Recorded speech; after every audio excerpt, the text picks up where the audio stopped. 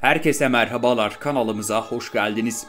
Kanalda ekranlarında yayınlanan Poyraz Karayel dizisinde kameramanlık yapan Serkan Topal'ı bıçaklayarak öldürdükleri gerekçesiyle tutuklanan şahısların ifadeleri ortaya çıktı.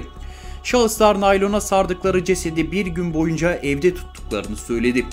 Başta kanalda ekranlarında yayınlanan Poyraz Karayel ve Hayat Yolunda olmak üzere birçok ünlü dizide kameraman olarak görev yapan Serkan Topal, uğradığı bıçaklı saldırı sonucu öldürülmüştü. Topal öldürdükleri gerekçesiyle tutuklanan şahısların ifadeleri kan dondurdu.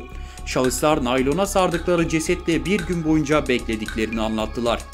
Dizilerde kameraman yardımcısı olarak çalışan Serkan Topal'ı bıçaklayarak öldürdükten sonra yakmaya çalıştıkları iddiasıyla tutuklanan Muhammed Derviş, kuzeni Zeynel Nevruz ve tutuksuz Hülya S hakkında ömür boyu hapis cezası sistemiyle dava açıldı. 2020'nin Kasım ayında Kestel ilçesinde jandarma ekipleri yangın ihbarı üzerine gittikleri ormanda bir cesetle karşılaştı. İncelemenin ardından ceset Bursa Adli Tıp Kurumu morguna kaldırıldı. Olay yerindeki ateşin çevresinde kazma, kürek ve su şişeleri bulan ekipler mahallelinin ifadesine başvurdu. Bir kişinin siyah renkli bir otomobilin akşam saatlerinde şüpheli şekilde çevrede dolaştığını söylemesi üzerine ekipler araç üzerine yoğunlaştı. Olay yerindeki su şişelerinin de 5 kilometre uzaklıktaki bir marketten alındığının tespit edilmesiyle ekipler güvenlik kameralarını inceledi. Görüntülerde 3 kişinin siyah renkli bir otomobil ile gelip aynı marka sudan aldıkları tespit edildi. Araçtaki Muhammed Derviş, kuzeni Zeynel Nevruz ve kız arkadaşı Hülya S olduğunun belirlenmesiyle şüpheliler jandarma tarafından gözaltına alındı.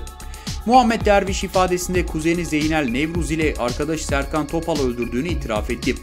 Derviş Topal'ı streç filme sarıp bir gün evde beklettiklerini ve daha sonra cesedi yaktıklarını belirterek şunları söyledi.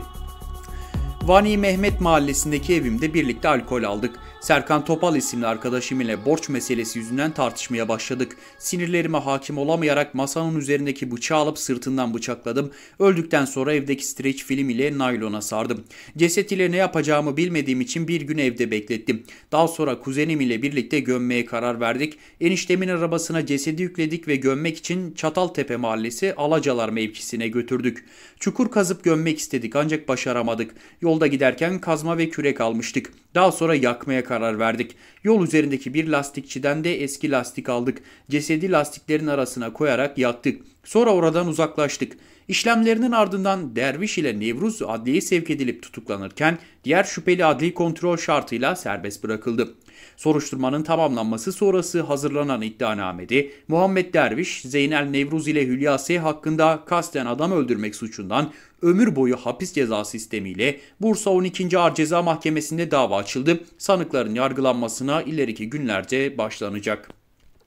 Videomuzun burada sonuna geldik. Bizleri dinlediğiniz için teşekkür ediyoruz. Bir sonraki videomuzda buluşmak üzere. Kendinize çok iyi bakın. Hoşçakalın.